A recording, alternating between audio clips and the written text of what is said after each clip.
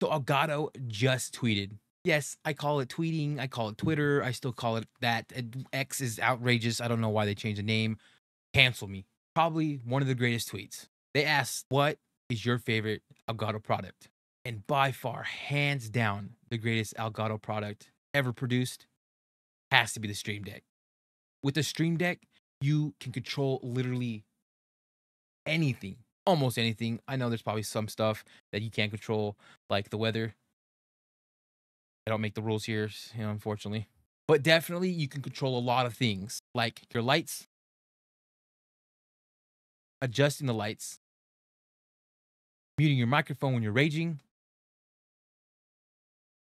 Glad you didn't need to hear that. Computers. And probably one of my favorite features is switching scenes in OBS.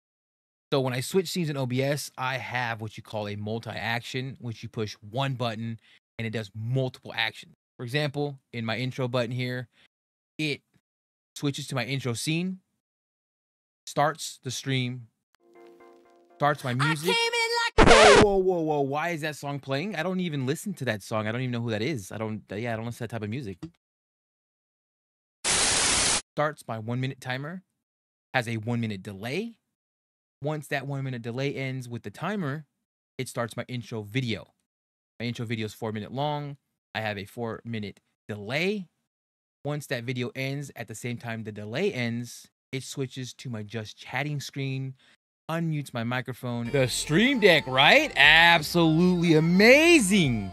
Turns my music down to 15%, and we start the stream.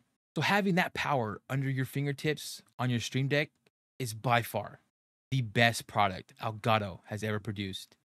Changed my mind.